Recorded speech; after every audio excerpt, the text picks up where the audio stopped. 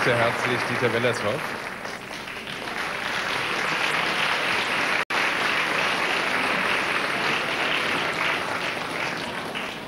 Dieter Wellershoff äh, hat den Heinrich-Böll-Preis äh, bekommen und ich glaube, er ist der einzige oder er ist der, der Heinrich Böll am allerbesten gekannt hat von allen Heinrich-Böll-Preisträgern. Aber das werden wir heute Abend nicht zu klären haben, sondern nach langer Zeit, wir haben eine ganze Weile warten müssen, gibt es wieder einen Roman von ihm.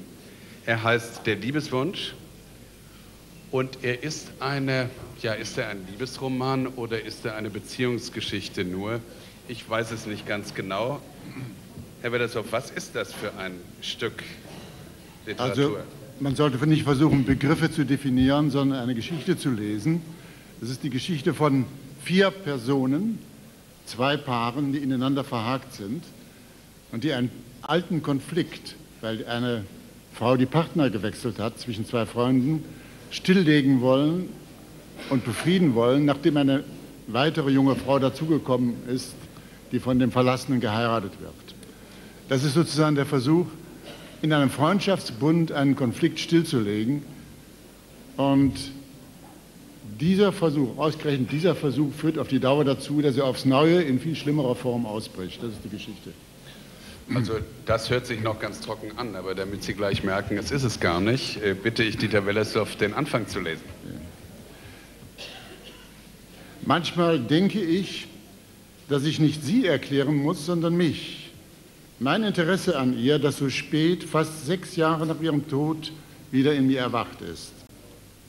Doch vielleicht muss ich erst vom Vergessen sprechen, das gewaltsam als Abwendung und Trennung begann und dann allmählich in Beruhigung überging. Ich habe immer weniger, immer flüchtiger an sie gedacht und irgendwann dann nicht mehr. Wann das war, weiß ich nicht. Man vergisst auch noch das Vergessen, wenn man etwas vergisst. Es ist wie eine doppelte Wand oder wie etwas, das es in Wirklichkeit nicht gibt. Eine doppelte Dunkelheit. Inzwischen weiß ich, man kann nicht sicher sein. Sie war verschwunden in diesem doppelten Dunkel, bis ich sie plötzlich wieder sah. Sie erschien mir in jener bannenden Ausdrücklichkeit, mit der eine Schauspielerin im Lichtkegel eines Scheinwerfers, unbeirrt von den auf sie gerichteten Augen im verdunkelten Zuschauerraum, über die Bühne schreitet. Wenige Schritte vor mir bei einer Verkehrsampel, die gerade auf Rot schaltete, kreuzte sie inmitten anderer Fußgänger meinen Weg und verschwand in der Seitenstraße. Ruhig, ohne den Kopf zu wenden, ging sie an mir vorbei, in dem unangetasteten Reiz ihrer längst vergangenen Erscheinung Jahre vor ihrem Tod. Sie erschien mir in dem seltsamen Zwielicht einer nahen Ferne, unwirklich, und selbstverständlich und wie jene Schauspielerin nicht anrufbar. Es war eine andere, eine fremde Frau, in der ich sie wiedererkannte. Doch das wusste nur mein Verstand, der den Schrecken, der mich durchfuhr, mit kurzer Verzögerung beiseite schob. Sie war es nicht. Sie konnte es nicht sein. Es konnte nicht noch einmal beginnen. Erleichterung oder Enttäuschung, ich wusste nicht, was ich empfand. Dann wechselte die Ampel auf grün und angestoßen von der Bewegung um mich herum ging ich weiter in der einmal eingeschlagenen Richtung, Schritt für Schritt weg von dem sich ebenfalls entfernenden Anlass meiner Halluzination. Nach 20, 30 Schritten hatte ich den Impuls umzukehren und der nun schon ein großes Stück entfernten Frau nachzueilen. Ich wollte ihr ein Stück folgen, um festzustellen, worin sie Anja glich und ob die Ähnlichkeiten oder die Unterschiede überwogen. Das sei wichtig, damit die ins Wanken geratene Wirklichkeit sich wieder festigte, sagte ich mir. Doch eigentlich verstand ich diesen Gedanken nicht. Ich wusste ja, dass ich mich geirrt hatte. Deshalb brauchte ich jetzt nicht noch hinter dieser Frau herzulaufen. Es sei denn, ja, es sei denn, dass dies nur ein Vorwand war, hinter dem sich der entgegengesetzte Wunsch verbarg, den ich mir zögernd eingestand. Wie ein Schläfer, der hinausgefallen aus einem unabgeschlossenen Traum noch einmal die Augen schließt, hatte ich gehofft, dass sich die Täuschung noch einmal wiederholte.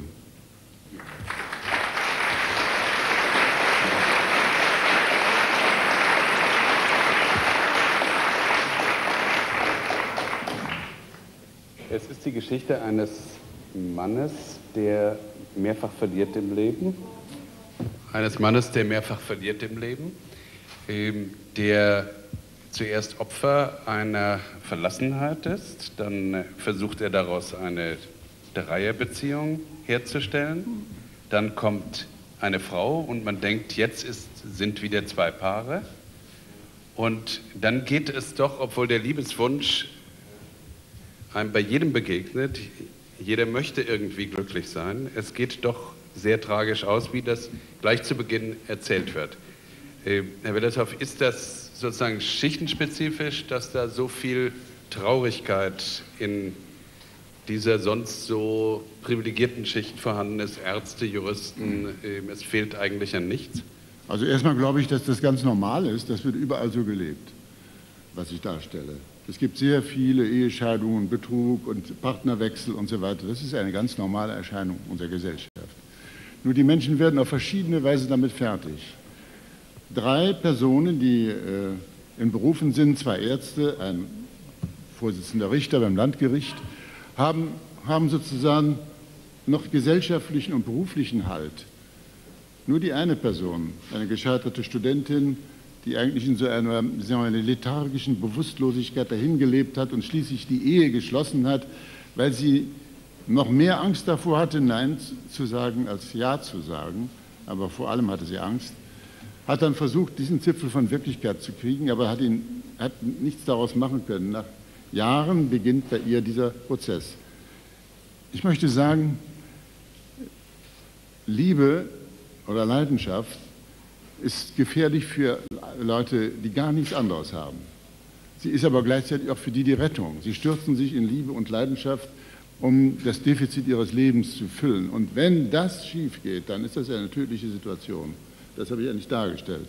Der Prozess sozusagen, wie man alles auf eine Karte setzt und daran, daran dann plötzlich scheitert. Und zwar scheitert man an dem Realismus der anderen Menschen, die sagen, nee, so weit also bitte nicht. Und äh, das ist mir zu extrem. Der Liebhaber auch, der sie faszinierend findet, plötzlich kann er das Wort Liebe nicht mehr hören. Es ist einfach zu viel, diese Totalität, alles in diese Perspektive zu rücken und alles andere dafür zu gefährden. Das ist eigentlich die Situation, die sich da ergibt. Ne? Die, die, junge Frau kommt in diese Gruppe von normalen Menschen, Akademikern von heute äh, hinein und ist wie ein, na wie soll ich sagen, eine, dadurch wird eine Versuchsanordnung dadurch. Ein Mensch mit einer solchen Radikalität, die aus der Schwäche oder aus der, aus der Angeschlagenheit kommt, und dass daraus sozusagen eine destruktive Stärke wird. Ähm, würden Sie als äh, Gegeneindruck akzeptieren, äh, manchmal kommt mir dieses Mädchen, das sich am Schluss umbringt, äh, als die einzig Lebendige vor? Nein, ähm, ich, ich, ich, würde, ich würde sagen, es ist so, sie wird in diesem Moment, wo sie sozusagen alles auf diese Karte der Liebe setzt, wird sie sozusagen aus einer Person, die ichlos und lethargisch dahingelebt hat oder angepasst nachher dahingelebt hat, wird in dem Moment entwickelt sie eine ungeheure Ich-Stärke. Das ist sie und sie weiß, was sie will und, und hat, glaube ich, den Sinn ihres Lebens gefunden. Aber das ist natürlich auch ein hysterisches Experiment. Ich verurteile keine Person in dem, in dem Buch. Der Richter, den, den manche den nicht so gerne mögen, ich finde, ist eine Person, die sehr viel wegstecken kann und versucht damit zurechtzukommen. Der andere, der Mann, der hier am Anfang als Erzähler auftritt, na, ist, das ist der, äh, sozusagen ja sechs Jahre nach dem Geschehen, da merkt man, er ist so etwas im Flachen gelandet nicht? und äh, treibt jetzt so dahin. Er hat, äh, er hat eine Niederlage erlitten, nachdem er zweimal seinen Freund betrogen hat. Ja, und, äh, und die Frau, die geglaubt hat, sie könnte das ganze Leben arrangieren, ist eine, eine Sache der Inszenierung, die ist mit diesem Experiment gescheitert, weil Menschen nicht so zu dirigieren sind. Ähm, die Rückbezüglichkeit ähm, Wim Wenders oder äh, in, also in allen Medien wird auf, werden auf einmal die Dinge vom Ende her erzählt. Den wirklich äh, großen Experten äh, für das Verfertigen von Literatur gefragt. Äh, dieses Erzählen vom Ende her, vom nicht so vom schlechten Ende oder vom guten Ende her, hat das, ist das was Didaktisches oder was, warum lässt man sich das ja, einfallen? Ich meine, das müssen wir jetzt ein bisschen sagen, vom Ende her erzählen, das hört sich so an, als würde man sozusagen von, vom Ende her rückwirkend das alles nochmal äh, äh, analysierend erzählen. Das mache ich ja nicht. Ich habe einen Ausgangspunkt genommen, sechs Jahre danach, und dann beginnt die Handlung vorne. Und das, dass aber der Ausgangspunkt sechs Jahre danach ist, dass man weiß, eins weiß man, die, eine Frau ist gestorben, die hat sich umgebracht. Das gibt dem Leser sozusagen einen Informationsvorsprung vor den Figuren und macht den Raum plastischer und, und man kann ihn besser durchschauen. Die Personen handeln, um das mit einem Begriff von Ernst Bloch zu sagen, im Dunkel des gelebten Augenblicks, denn sie kennen die Zukunft nicht. Der Leser kann, das ist ja eine zusätzliche Spannung, der Leser weiß einen Teil der Zukunft, einen tragischen Teil der Zukunft weiß er. Und er sieht, wie diese Menschen, wie sie an Strippen sich bewegen, nicht wahr, in, diesen, in diese Richtung gehen, ohne es selber schon zu wissen.